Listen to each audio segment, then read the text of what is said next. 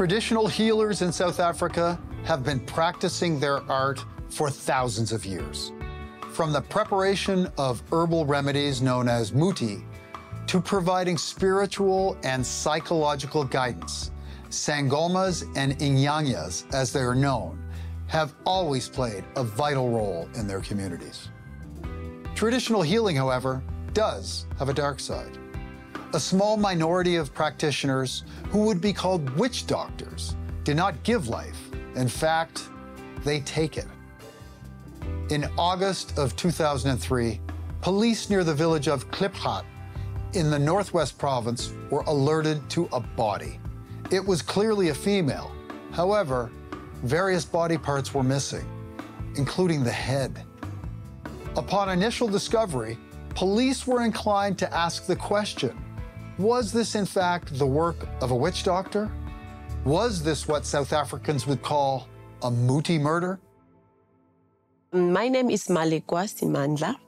Um, I come from a place called Sebokeng in the Vaal. That's where my name comes from because Malekwa, it actually comes from the Vaal River. So I'm the Vaal River. So yeah, that's what my grandmother said to me, that you are the Vaal River because the Vaal River, you can look that it's gonna get dry. The next day it will be full. That's you. Do you come from a tradition of traditional healers? Yes, I do. From my mother's side, they are traditional healers, they are sangomas, they are prophets. Yes, so it's a different types of healers from my mother's side. My name is Tato Mosesi. I am a traditional healer, also known as Inyanga. Inyanga. Yeah, so there's a difference between a Sangoma and a Inyanga. What is an Inyanga? An Inyanga gets exposed to, there's this one spirit that teaches you more about herbs. An Inyanga doesn't have to, uh, I, the ones I've been exposed to, you don't have to chant. That's the difference. Sangomas chant.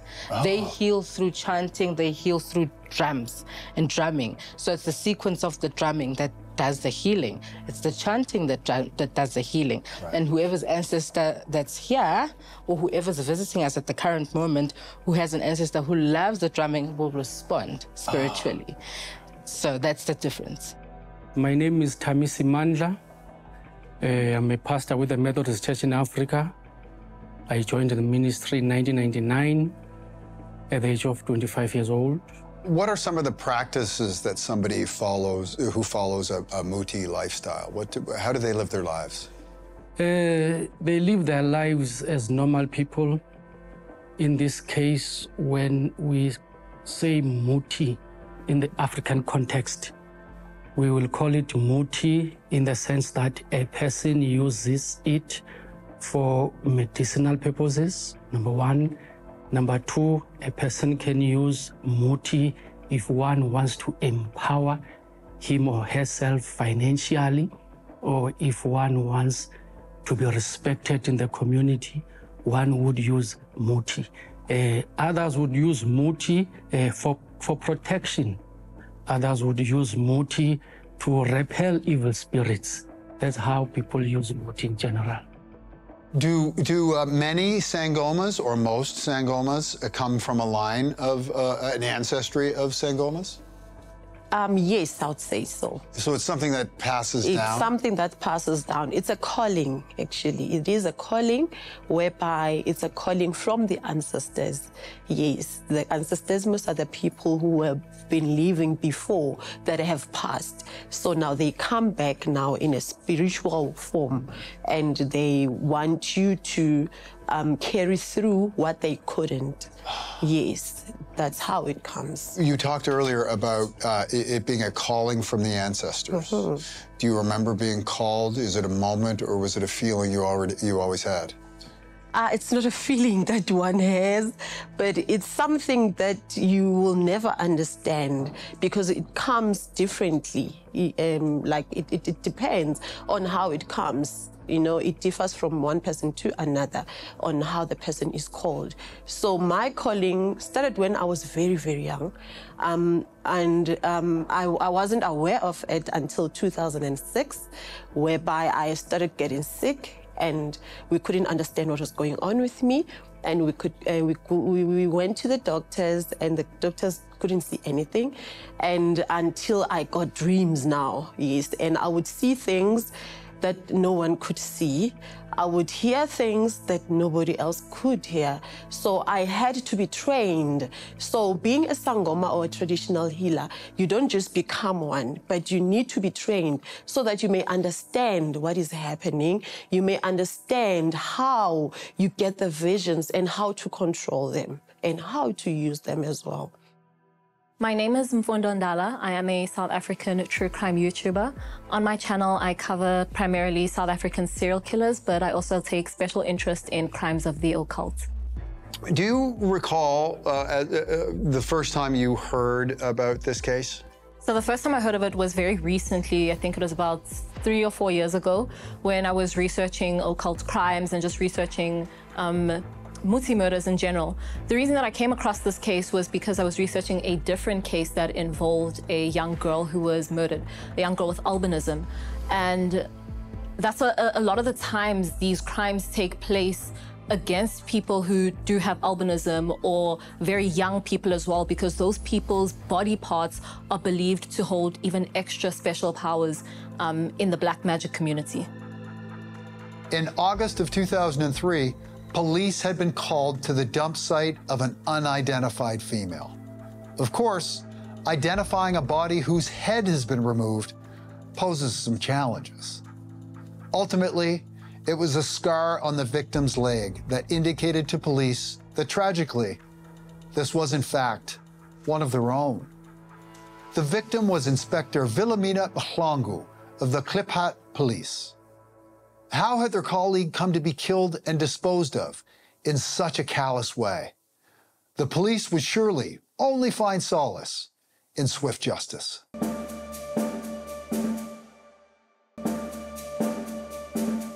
A body had been discovered. The head, the breasts, and the genitals were removed. The unfortunate victim, it turned out, was none other than one of the Klipgat police's own. Her name, Inspector Wilhelmina Mahlangu. Upon initial inspection, police considered the idea that this may be a muti murder. Muti, or traditional medicine, can, after all, include the use of human body parts.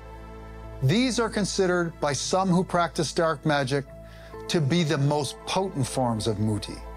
So it is not atypical to find a body in South Africa whose parts have been harvested for use in dark traditional remedies. However, in this case, certain things immediately pointed to the fact that this may not be a murder for Muti.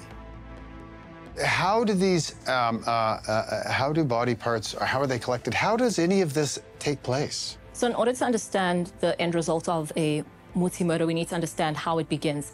And usually it begins with a client going to a sangoma. And it's obviously not going to be Inyanga because Inyanga is not dealing with ancestors. They're dealing purely in the medicinal parts of traditional healing. So a client goes to a sangoma with a problem, saying what they have their problem in, whether they want more wealth, they want protection, they want respect it's rarely ever for protection, more for wealth and, and um, respect and for also sexual powers. And that's going to play into which body parts are collected. So the client is involved, and then the Sangoma themselves, who would either suggest that they harvest body parts, or the client would suggest that they harvest the body parts. But neither the Sangoma nor the client are involved in the harvesting of these body parts.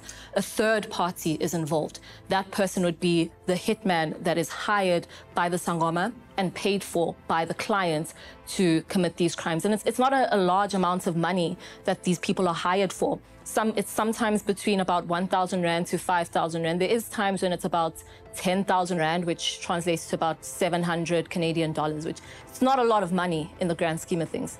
No, it's really It's maybe like rent for one month. And the purpose of a muti murder is not to commit a murder, is to take the body parts while the person is still alive. Alive? Yes. What sort of practices do you uh, use as a Sangoma? I use bones. Um, firstly, it depends on the patient. Yeah.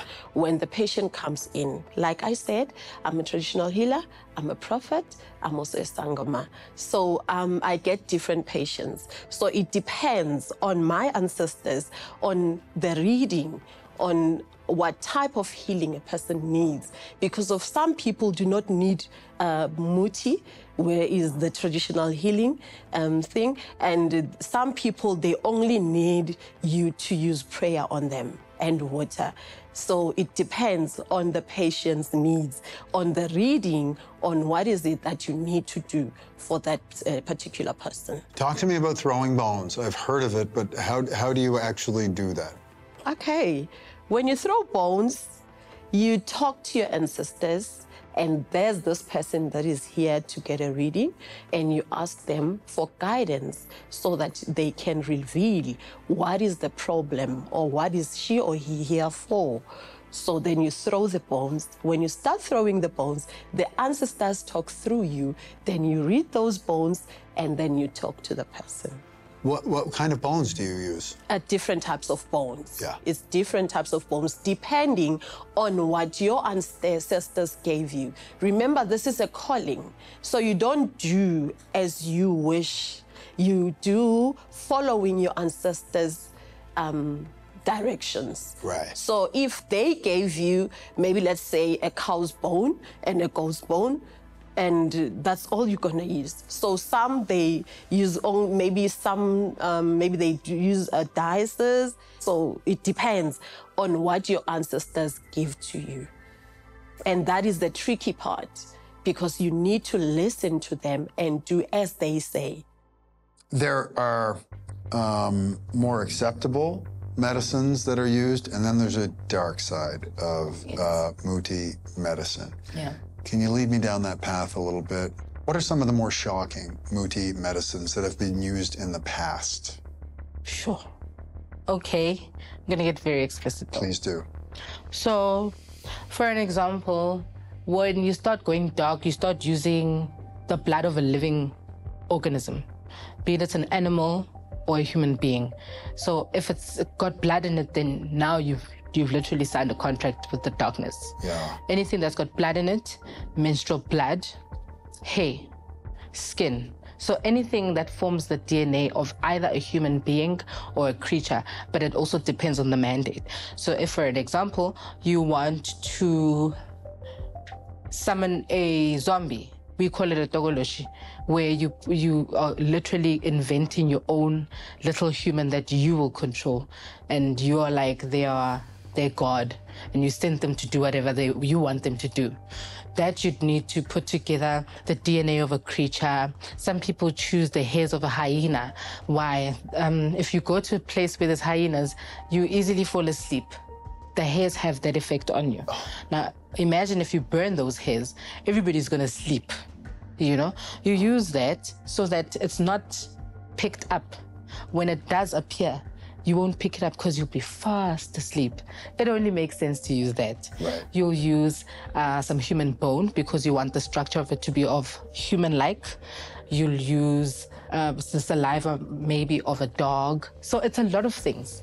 Sometimes even things like if the you know most you get when your eyes get dirty and you get some of those crummy looking stuff on the eyes. Dogs also have that. That's also used. Really? Yes, it's used to see beyond the multiple verses, the multiple realms. Because remember, a dog can see way better at night than it does during the day.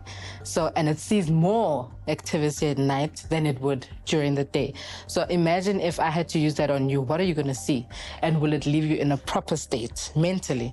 You know, so once you go dark, you are taking the the blood or rather the DNA of a li- living organism, either a creature or a human being. How common is it for traditional healers to use human body parts to this day? Well, I'd like to think that currently it's becoming a common thing. Before it never was. But if you look at the numbers of trafficking, we keep blaming other countries, but I always say the problem is not too far. Where there's smoke, there's usually fire. Right. So it's not as common. I can't say it, it is common. I wouldn't. I, have never been exposed to using or even seeing a human body part in this field. I've seen it at a hospital and all those things, but just not in this field. But I believe it's becoming common because of the gains that, the benefits you get from harvesting body parts or using them in some of the things that you do.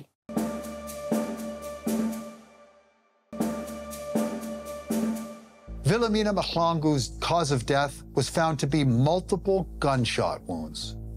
There were five bullet wounds in her body. Four had an entrance and exit wound, but there was one, however, which was still lodged in the body. It was sent for further analysis. The fact that the victim was shot indicated that this was not a muti killing. For muti to be potent, it must be harvested from a live victim. Wilhelmina had been shot and then the body parts removed post mortem. So, what, in fact, had happened to her? Was this actually a case of someone trying to cover their tracks? Why alive? So, the belief is that um, they need to harvest these body parts with the life essence still intact so that they are able to transfer the magic and the power in these body parts into the muti medicine. That's horrific. Um, how often does this occur? So unfortunately, we don't have exact statistics on how often it occurs because muti murders are classed under all general murders in South Africa. But they do garner a lot of attention because of the how gruesome they are and the brutality of it. I would say it's between anywhere from five to 500 in a year muti murders that occur in South Africa. That's a pretty broad range. That's a very big range because we don't have the numbers. We don't have any way to to count which it is, and a, lot of them are fake muti murders. So we don't know which ones are real and which ones are fake. And a lot of them are happening in extremely rural areas, extremely impoverished areas with lack of resources, lack of, of police services yeah. in those areas as well.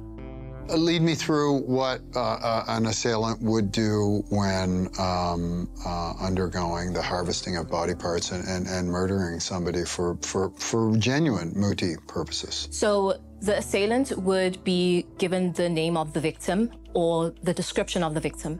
And the victim needs to be someone who whatever they are taking from the victim needs to be related to what the muti will be used for. Yeah. So for example, they might take a they might kill a sex worker and harvest her sexual organs in order to give the recipient, the client, um, sexual powers, for example. Or they might take someone who is well respected in the community and they will take that person's head and use their head for muti purposes because the head is a sign of respect. And that's the part that would garner the magic of respect. And if it's maybe children who are lucky or who people who are, are lucky with, with money, an, another type of victim might be someone who is someone who's well loved in the community and their heart might be taken so that the recipient of this muti is is garnered the, the magic of love to be loved by other people.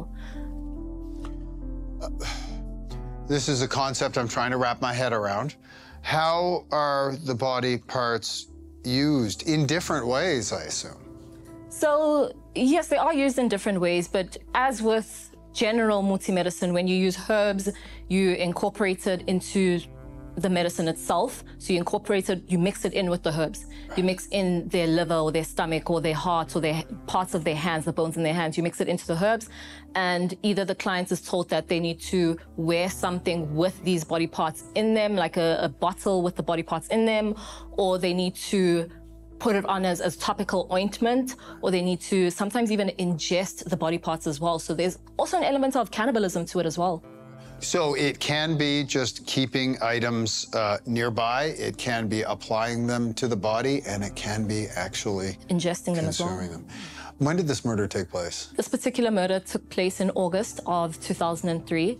What happened was um, the naked body of a female was found, and she was she had been beheaded and a member from the Mabopane community came across this body and um, he went to his community leader to inform him of what was happening because Mabopane being such an impoverished community, they end up having their own policing forums to be able to limit the amount of crime that happens. So the first red flag that comes up in this being a fake Muti murder is the fact that it was a naked female body.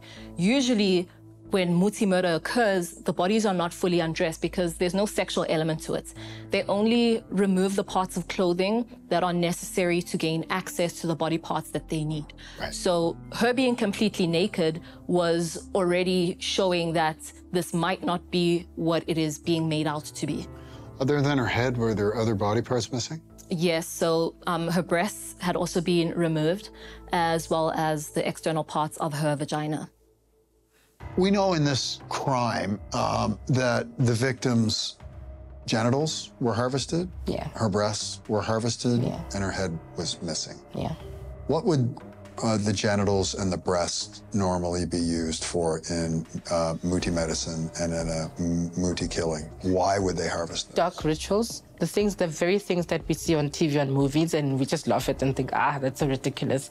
So, for an example, I'd want a head right at my gate to make sure, because that's my camera. Uh-huh. You- that's my spiritual camera. Uh-huh. Do you get me? And then when we go into the private parts, those are much more darker rituals where a lot of males would be involved or a lot of females would be in- involved. So it, it's sort of like a cult. When you collect these parts, whoever wants these parts is popping out a lot of money for them. Otherwise, you wouldn't go and kill somebody and get just a vagina for nothing. Right. So somebody, there's somebody, there's people in very high ranks. I can't say I know them. All I know is that why would a common, like an old lady from Soweto who has nothing, kill their daughter, take the vagina and just harvest it? No, there's there's no way. It's either there's a business deal, so it's like a bounty. Put out a bounty, you say I got a hundred thousand dollars and I want uh, the vagina of a black woman, and she needs to be between this age range. Age range is also vital because the younger she is, the better. If she's a virgin, it's even better because it's a powerful muti. Now, if she's not a virgin, well, it won't be as strong because you've been exposed to sin. The more innocent, even better. Right. So it's it's blood rituals. It's blood rituals, which I think it's uh, giving power to these dark entities that we know nothing about. So uh, uh, the body's found. Uh, police are called. Um, what's it? What happens next? So the body was found, and then the community leader was called first. Then the community leader contacted police, and they took fingerprints of the victim and sent them over to Home Affairs because Home Affairs has everybody's fingerprints Right. um, in South Africa. Well, and everybody's who's documented their fingerprints are on the Home Affairs system. So um, Were they able to find out who the, the victim was rapidly? No, unfortunately, they weren't able to find it out through Home Affairs. The discovery of the victim's identity actually came from her colleagues.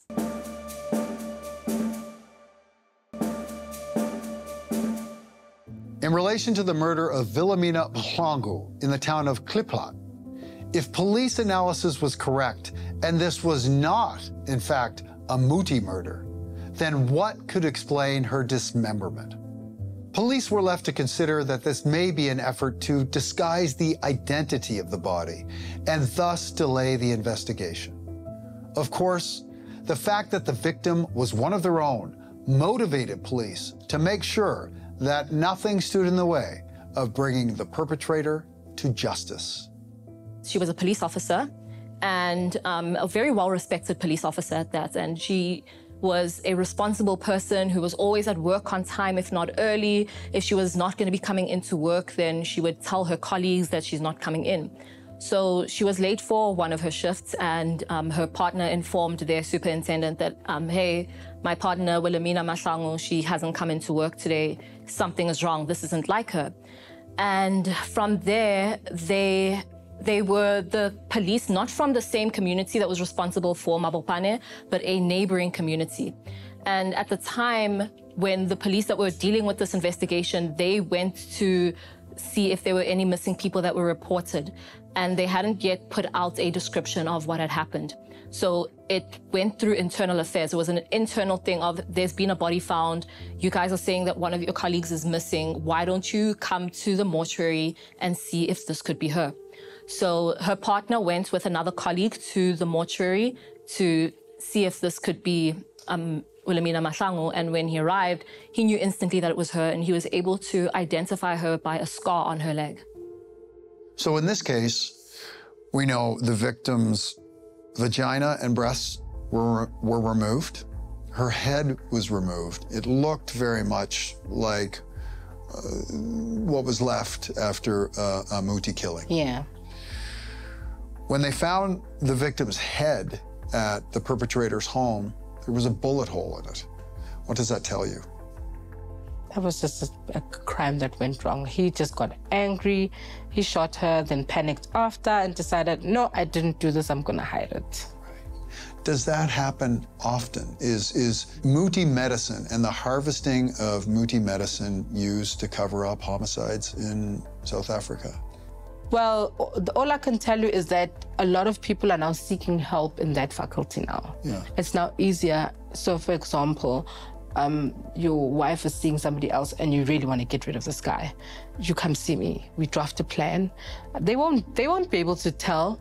You know, we draft a plan. We sort of um, fake kill her, kidnap her, and kill her elsewhere.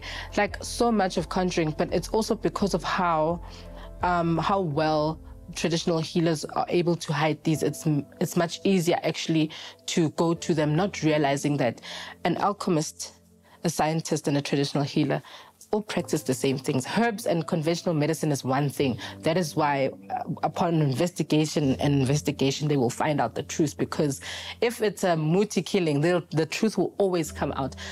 Purely because of the fact that even the person that you kill, that person has ancestors. Mm. And they also don't like it. And they'll do whatever it takes to have the truth come out. Might not be now, but the truth will always come out.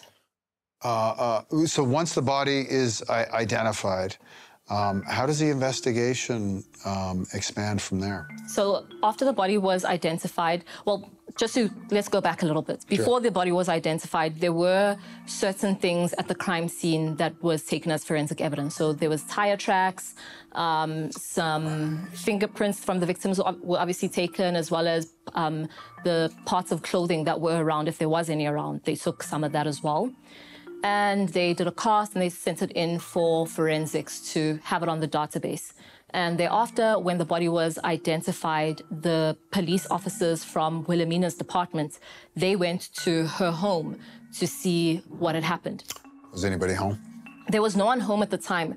And another thing that was strange about the crime scene was the lack of blood and the fact that there were bullet wounds in the body. There were four bullet wounds in the body. Wait, you told me that, or from what I know, um, uh, a muti killing, uh, the organ, the body parts need to be harvested while somebody's alive. Yes. So, uh, unless they were shot after the body parts were harvested, it doesn't really make sense. And there was no blood there. Yes. So that's that's how we were. Well, the police were able to figure out that this is a staged scene because there wasn't any blood, and usually um, in a muti killing, you're not going to move the body from where you committed the crime. You take what you need and you leave it there, and then it's discovered and the process follows. But with this, it had been clear that the place that the body was found was not the scene of the crime because there was no blood. And the fact that it was obvious that she had died prior to her organs being harvested and her body parts being harvested because of the fact that there were bullet wounds. And obviously, forensic testing, they were able to figure out that these were post mortem wounds as well. If somebody murders somebody, clearly they're going to fall out of favor with the ancestors. If somebody murders somebody and then fakes a muti killing, is that even worse? That's even worse. That, for this is just my own opinion.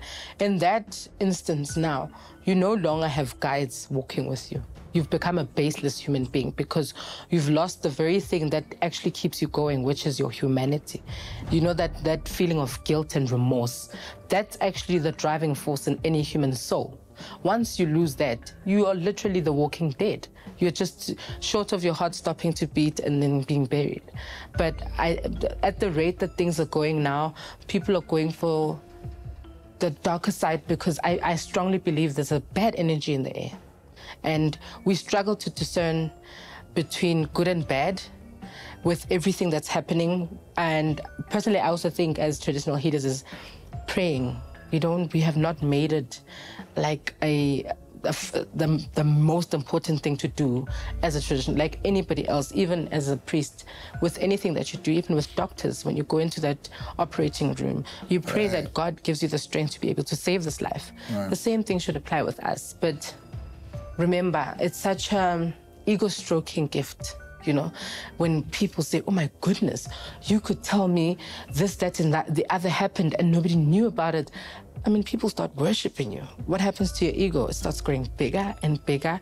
And once now those compliments go away, you want more of them. You'll do whatever to get more of them. Mm. Then you start selling lies. Then automatically you, you, you're, you're derooting. And when you deroot, you've left your ancestors where you were and you've gone in, into that route alone. Because they don't do that. If really they are good people and they are of white light, then you've, you've lost your ancestors. I personally think then there is no calling. When it comes to the dark side of uh, uh, Muti, if it was not for the demand for people wanting these these these things, um, uh, would those crimes still exist? Um, not really. Uh, can I say I blame this on poverty as well? because poverty is the effect. It's, it's the one that, uh, that, that puts us here now. Uh, because of the, the crimes of Muti related, that are Muti related, they are due to poverty because now people want quick money.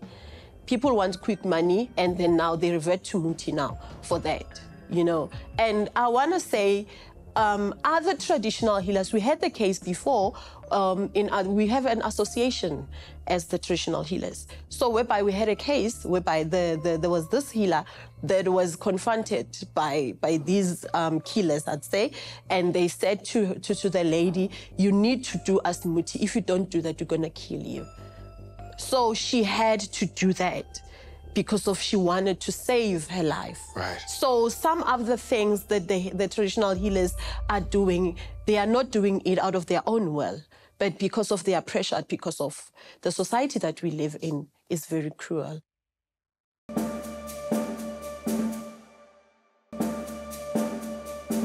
Police investigating the murder of Wilhelmina had found their way to her home. Outwardly, there was no obvious evidence of a struggle. However, under closer inspection, and after the discovery of her head, police had concluded that Wilhelmina was in fact murdered in her own home. Evidence indicated that she was killed in her bed. The mattress, headboard, and mirror were riddled with bullet holes. Police had also discovered two 9mm firearms in the bedroom. They were both found beneath blue overalls, which were clearly those of a man. Whose guns were these? And who owned the overalls? Police were getting closer to answers. So, other than what the crime scene is telling them, the body's likely been moved, it wasn't, uh, the killing didn't occur uh, there, they don't really have a whole, uh, many leads to, uh, to go on. So they go to, uh, they go to the officer's house. Yes, they go to Wilhelmina's house, and when they walk in, um, everything's normal. Do they need a search warrant to walk in, or can they just walk in? Well, they didn't have a search warrant. So, because at this point in time, it was her colleagues coming in, not necessarily conducting an investigation, but as concerned friends.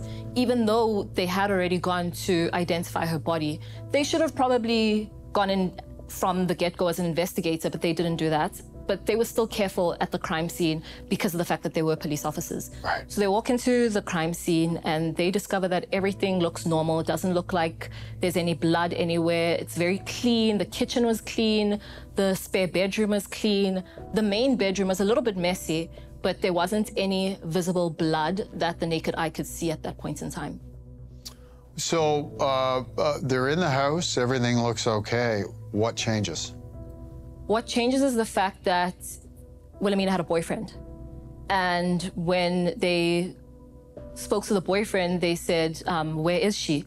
Because they, they don't want to tip him off of the fact that they've already found her body. Because obviously, with, with cases like this, the first suspect is always going to be the partner of the victim. So the boyfriend then told the police he doesn't know where she is. They should be the ones that know where she is since she's their friend and their colleague. He has no idea where she could be. And he didn't really show any concern to the fact that people are telling him that his girlfriend is missing. So that was a huge red flag and that raised suspicions with police. And upon further investigation and when they were conducting forensic tests in the house, they discovered that there was blood in the bedroom. Not only were, was there blood in the bedroom, but there were um, four, there were three bullet holes in the bedroom itself, in different parts of the bedroom. So remember, she'd been shot four times. Right. Three of them had an entrance and an exit wound, and one of them, one of the bullets was still lodged in the body. The police are in the house. Uh, they uh, find they, they find blood in, in, the house. To me, though, if the murder occurred there, they find bullet holes there as well. If the murder occurred there, wouldn't it be a really horrific, bloody scene? How was it covered up? The boyfriend had already cleaned the the house by the time that the police came. Yeah. Because the police only came about three or four days after the initial discovery of the body. And on their initial visit, the first time that they came without the proper equipment and the warrant, they found um, two guns in the house. One gun was registered to her, it was her police issued firearm, and the second gun was registered to her boyfriend, which is what gave them the motivation to come back a second time. And on their second visit, that's when they made the discovery of the bullet holes, and that's when they made the forensic discovery of the blood, because that's when they came with the correct equipment to, to test the scene of the crime. Two firearms discovered in the home of Wilhelmina Mahlangu, a police officer who had been murdered in her bed with a gun, were found in the room where she died. Police immediately set about identifying who the guns were licensed to. One was Wilhelmina's police issue weapon. The other was registered to a man named Bali Ntuli. Police, of course, knew who he was. He was Wilhelmina's boyfriend, and he was clearly somebody they needed to talk to. Was there anything else they found in the house? They did find um, the victim's body parts. They found her head, her breasts, and her external vagina. Wait a second. The, the, the, somebody has cleaned up this. We, we now know that the perpetrator had cleaned up the scene, but left body parts? Yes, he left them in a plastic bag in the fridge. Very Jeffrey Dahmer. Uh, is there any indication of why he did that? I think it was just so that it wouldn't stink. And it wouldn't like, so that he, he had some time to dispose of these items properly. Well, he had cleaned up the, the, the, the, the, the crime scene. I do not know why. Yeah, uh, what does this tell you about the, um, uh, the, the, the perpetrator, that he kept the body parts? He didn't understand that I need to clean up, but I need to dispose of these things. I, I think it was just a, he didn't expect to be caught so quickly. Right. I think it was just, it was just timing. He just had a poor understanding of the limited amount of time he had to get rid of the evidence. Because although there wasn't a lot of blood um, in the bedroom, it wasn't like a horrific bloody scene. They were only able to see it under UV light after doing the forensic testing. But the sheets themselves, they, they were torn you could see that there'd been a knife there where someone had that's where he he actually dismembered her was on the bed itself. So you could see in the sheets that he had cut her head off and you could see the serrations of the knife on the sheets themselves. So at this point we've got a crime scene. We have body parts uh, recovered. How do investigators um, confront the suspect with this? So they arrest him for suspicion of murder. And at first he's like, no, it wasn't me. This is a Muti murder, as you can see. But um, very soon after his arrest, he admitted to the crime. And he said that he killed her in self-defense. So according to him, on the night of the murder, she had come home from a local shebeen or a, a local hangout. And he confronted her about the fact that she was allegedly seeing other men, according to him, that she was having affairs with other men. And she, according to him, he then um, was attacked by her in saying that she was going to kill him. She told him that she was going to shoot him. And she went into the bedroom where she kept her firearm. And at the time, he had his firearm on his, on his hip. So he took out his firearm and went into the bedroom and he shot her. And she was lying on the bed. Like forensic evidence and ballistic evidence shows that she was lying on the bed at the time of the murder because the, there was like a downward angle to the shots. They were able to determine that it was fired downwards and at an angle, Yeah. meaning that she was lying down and he was lying on top of her. So if it was self-defense, then you would expect that maybe she would have discharged her firearm. Right. But when they did testing on her firearm, they found that her firearm hadn't been discharged because you can tell when a firearm has been discharged recently. This counteracted his alibi that it was self-defense and that uh, uh, as he entered the room, she Yes. pointed a gun at him. Yeah, because the gun was found. Remember when they found the gun? It was found in the drawer. So if she had pointed the gun at him, why would he not? Why would he leave the gun? Why would he put it back in the drawer? Why wouldn't he leave it where police can then say, okay, fine, she was on the bed with a gun, she was trying to shoot you. Right. And then um, he says that after he shot her four times, he realized what he had done and he put her in the car and he started driving towards a hospital. But before they got to the hospital, he realized that she was unresponsive and she was dead. And he was calling out to her throughout this because he didn't want her to be dead. He was scared that he had killed his girlfriend, even though he knew what he did. And he went out into an open field, dug a shallow grave, and he then says that that's when he disposed of her body. But forensic evidence shows that she was dismembered in the home. Mm. So if he's saying that he dismembered her at the crime at the the crime scene that they initially found, then there would have been more blood from the dismemberment, which wasn't there. There wasn't any blood on the crime scene. Police were not short of evidence that indicated Bali Ntuli had murdered their colleague, Wilhelmina Mahlangu. Ballistic tests on his gun proved that it was the murder weapon. DNA evidence from his car proved that he had moved her body. The simple fact is that the sheer quantity of evidence against him left Ntuli not much else to do but confess. With everything needed to charge him, police were left simply with one question why?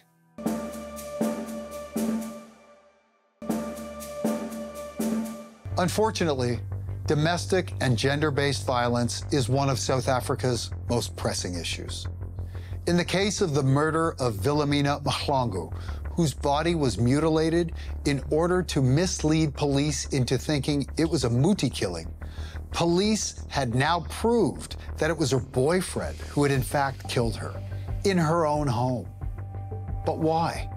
Well, the suspect would claim self defense. Apparently, an argument had gotten out of hand, and he'd been forced to shoot her when she threatened to shoot him. It would be left to the evidence to prove otherwise. Why was he lying about where he dismembered her? I think he was just trying to still have that alibi of self defense. Because if he says that he killed her, dismembered her, and then drove her body out of the, the house, Right. it, it brings into question why didn't you try and go to the hospital? That's why he said he put her in the car to try and take her to the hospital. But when he realized that she was dead, he dug a shallow grave, dismembered her, and brought her body parts back home. How did he explain why he dismembered her? He did not. How long did this take to apprehend the felon? Like a week. Just a week. Yeah, it was it was very quick. It was a, a cut and dry case. It was very obvious what had happened, and luckily the police officers that were working on this were quite competent.